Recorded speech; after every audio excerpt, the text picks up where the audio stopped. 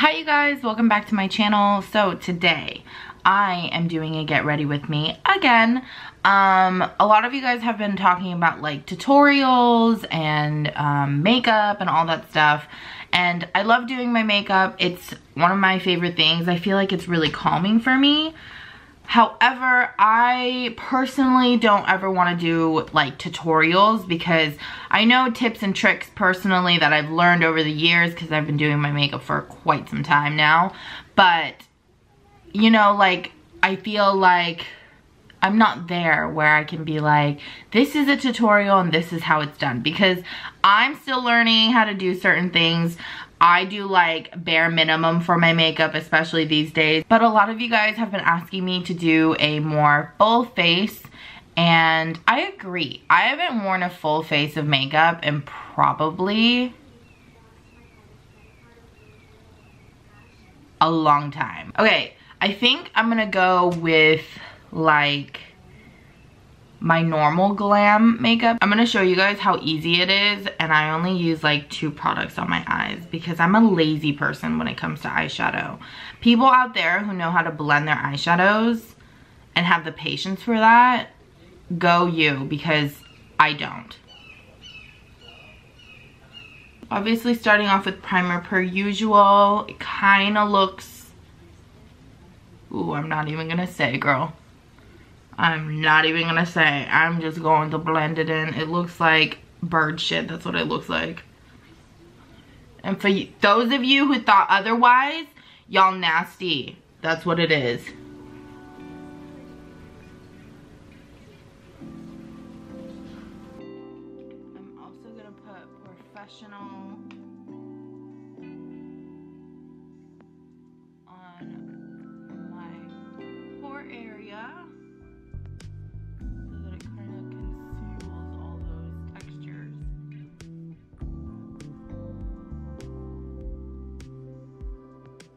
Then I'm to go in with concealer like I always do and I'm just to cover up the spots that are like extremely pigmented than I would like them to be.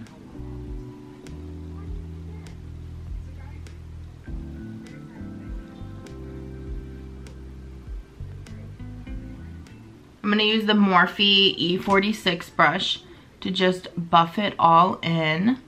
Oh, and I use the Tarte Shape Tape Concealer in light medium for this.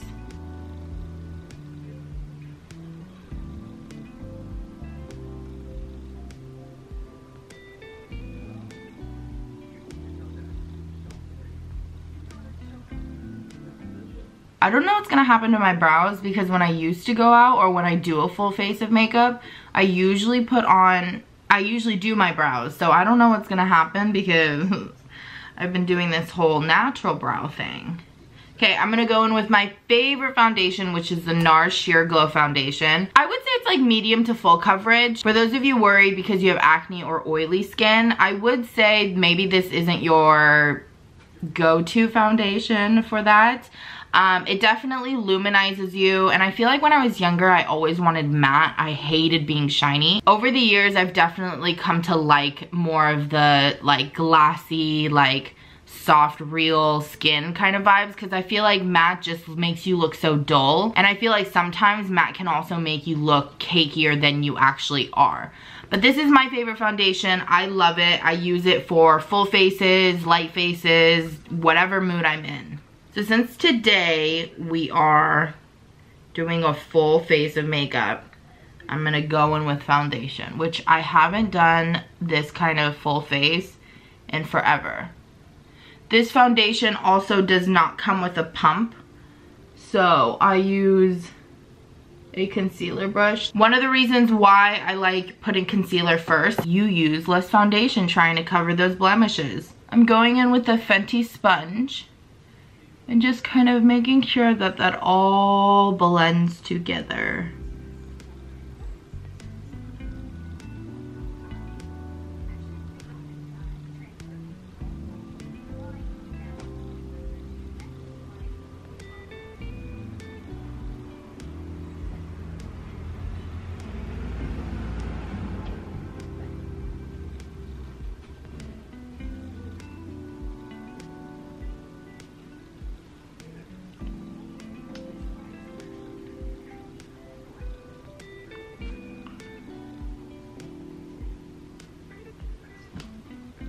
I technically can go back and still conceal some spots, but I'm gonna leave that because I've learned that the more I pack it on, the more it's just obvious that I'm trying to hide something.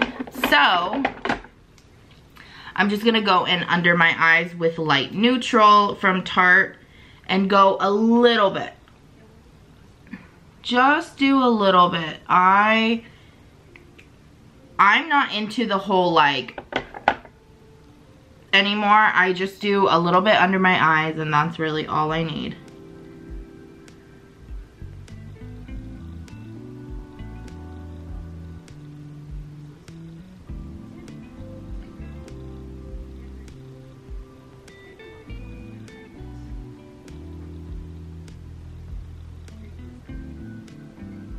Now, every makeup look is different for everybody. Some people need the under eye concealer, some people don't. Um, it really is your preference and what you work with with your face. I feel like every day I'm still learning new things about my face when it comes to makeup. Like my eyebrows, it's a new trend that I started for myself. But I think that's a learning thing. Like I didn't learn to like my skin. Like I didn't learn to do less for foundation until recently. Probably like a year ago a long time ago, I used to like pack it on. I only bake when it's a special occasion or if I know my makeup is supposed to last me for a really long time. Because other than that, I don't really wear makeup for very long. So I'm going to go in here with Ben Nye Luxury Powder in Cameo and go under my eyes. I'm also making sure to really pack it on under my eye because once I start doing my eyeshadow, there probably will be fallout. I'm also getting my temples because that's where I tend to get the most oily. Get my nose. I'm trying to see what else I do because I haven't gotten ready in a long time. Oh. I also always get my nose. I think I'm going to keep my brows natural like I always do. I don't think I want to draw them in, even though I'm doing like a full face of makeup.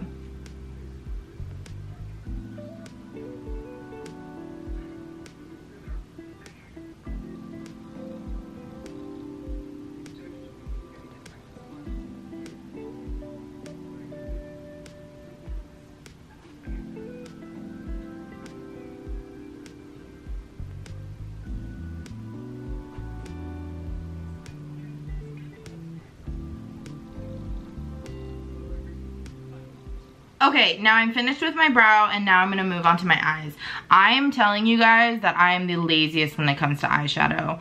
One, I'm not that great at it, so I have learned how to half-ass it basically for my eyes. I use literally like two eyeshadows and I'm good to go. It looks like it's presentable and the eyelashes, the eyelashes are the reason why it even comes together. I wish I was helpful with my eyeshadows, but this actually is just a collection of eyeshadows that I have over the years. Ooh, actually, this one is Makeup Geek. So this one's my favorite shade.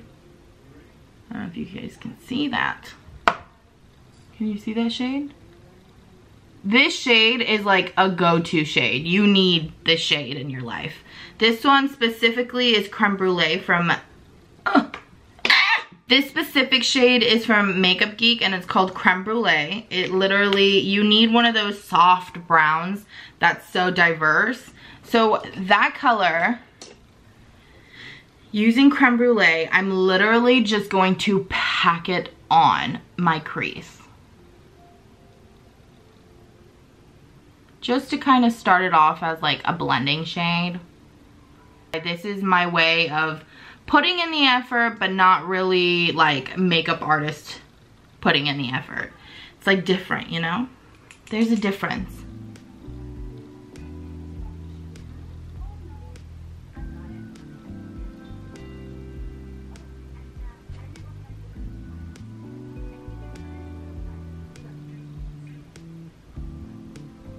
And then from here is where it gets really easy.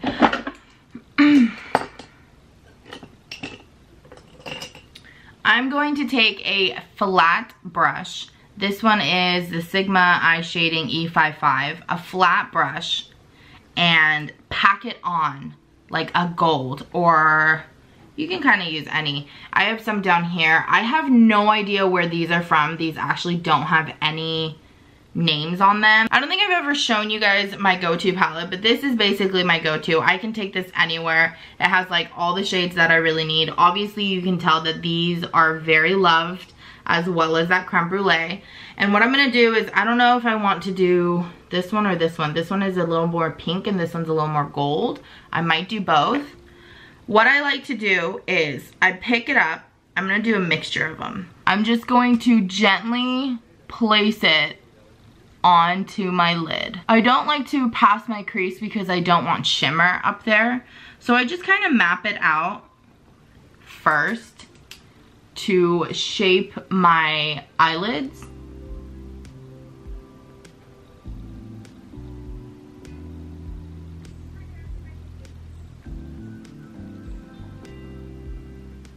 And then while it's looking like this, I'm going to take another brush and dip it into creme brulee and a little bit darker. And then I'm going to blend out the edges. Sorry if the angle changed, you guys. I had to change out the battery. So you can leave it like this, wear your lashes, and you're pretty much done. Add a liner, whatever you'd like. For me, I like to really pop because when I wear the lashes that I wear, they're so thick on my eyes that you can't really see the eyeshadow. Grab the eyeshadow that's on your eyelid, and then you're gonna spray it. And then when you pack it on, it gets all metallic -y. I only do this really in the center of the eyeshadow. I don't do it all around because I don't want a huge like metallic eyeball. But you can already see there when the light hits. Then I'm gonna do the other eye.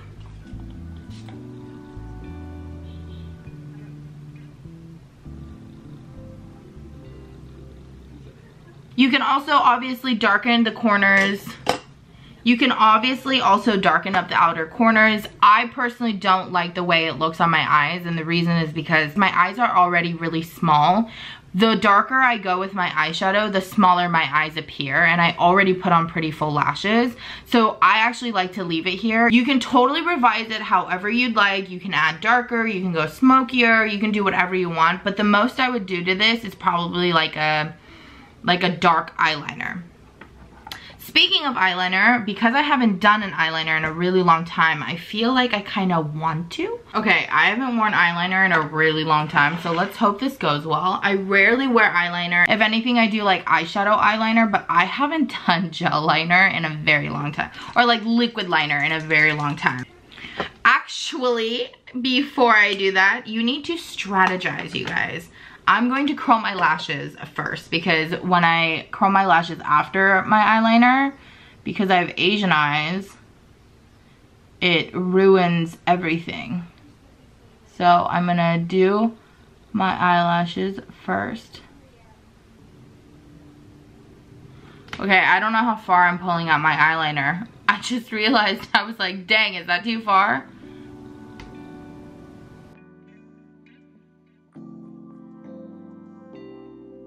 Let's hope I can do it on the other side.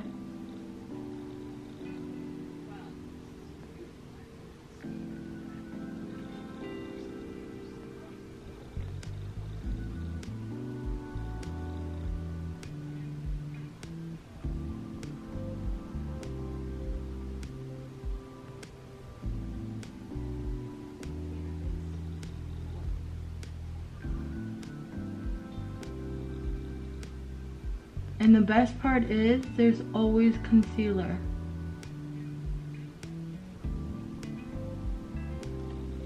See? Easy fix. Okay, and then this is where I go ahead and wipe away all that under eye nonsense.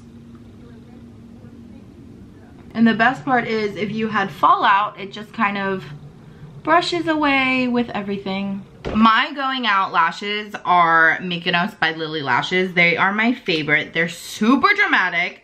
Don't get me wrong, but they are my favorite. They are so beautiful. They look like this. They're so pretty. So because I have eyeliner on, I'm gonna use a black glue.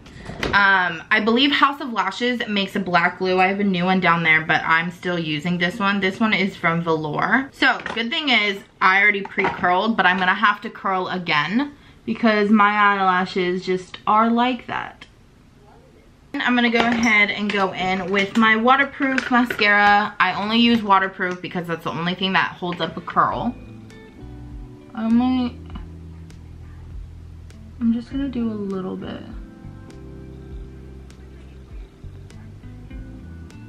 I look so funny without lashes on.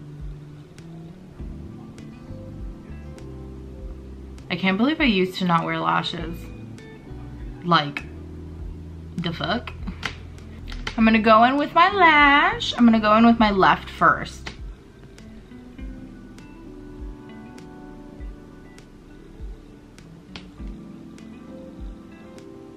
And because I'm wearing eyeliner, I can go for that lifted effect at the end.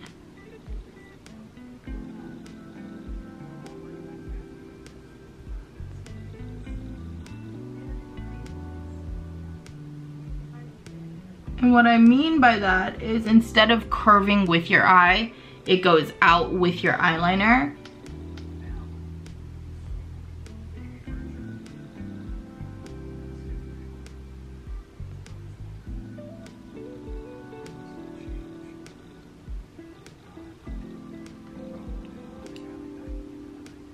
Now I'm gonna go ahead and go in and cover up the eyeshadow from previously used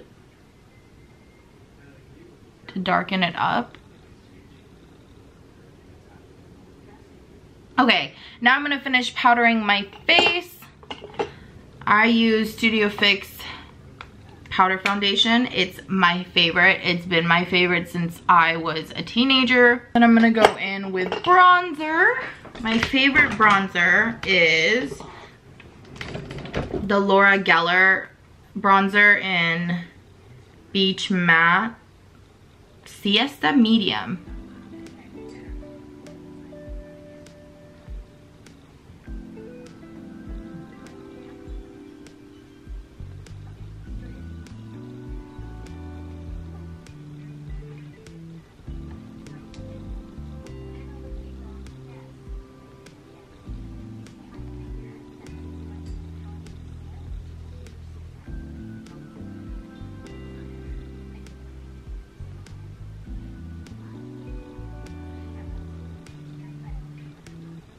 Then I'm gonna go in with blush. Today we're feeling adulty.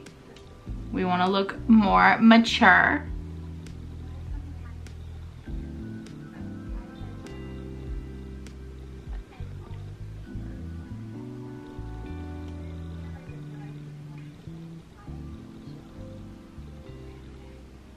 I don't know why the blush looks so pigmented on camera.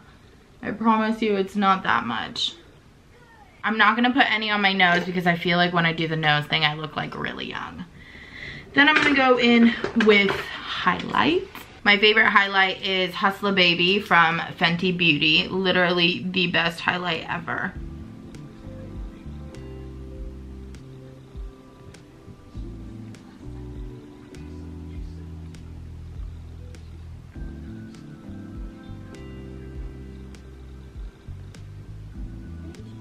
Don't forget your brow bone. I love a good highlight on your brow bone. Then my inner corners.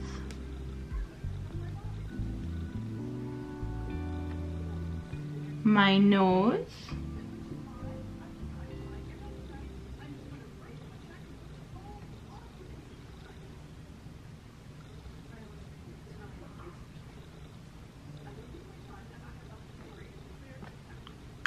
You can do your cupid's bow. I don't usually do it, but that's up to you. I'm gonna show you two lip combos. I'm gonna do one where it's my, I'm gonna do my first one, which is like my go-to, which is just like a nude gloss. I'm gonna use my favorite lip pencil in Oak.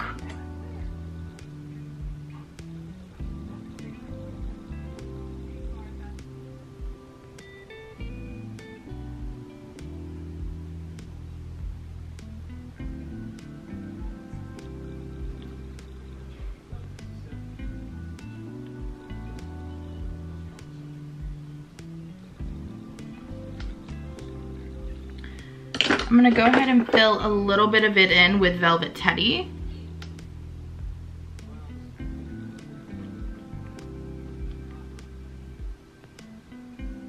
You can leave it like this if you don't like gloss, but I usually always like gloss. And of course, it has to be Fenty.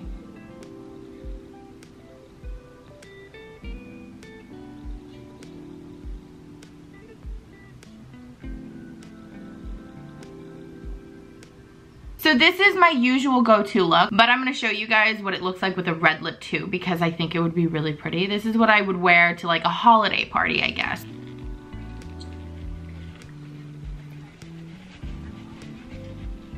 First things first, I'm gonna draw my lips with a lip liner.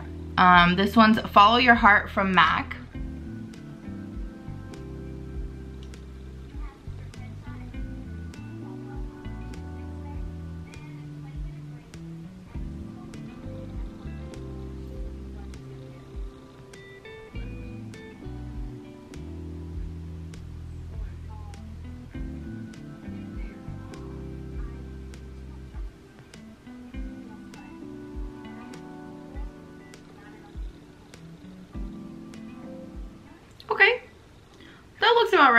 Then I'm gonna go in with my favorite red, which is the ColourPop Lemonade, no, Melonade.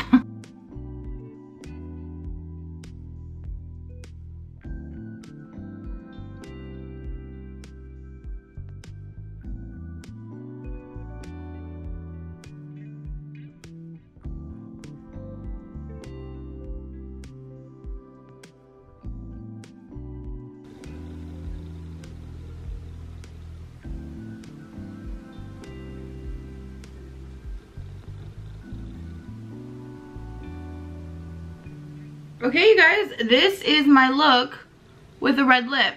Usually I go a little bit more ham with the blush because when I wear a red lip, it usually kind of washes out my face. I'm pretty sure it's just the coloring in the lip because it's just so pigmented so it takes away from everything. So I usually have to add a little bit more color into my face. And this is pretty much the finished look. I hope you guys liked it. I know you guys haven't seen me in a red lip. I haven't seen myself in a red lip in a really long time. A lot of the times when people see me wear red lips, I feel like they always automatically assume I look like Mulan but it's probably just the dark hair too. I hope you guys enjoyed it, whether you like the nude lip or the red lip. And if you did, give this video a big thumbs up. If you haven't already, subscribe to my channel, and I will see you guys next time. Bye!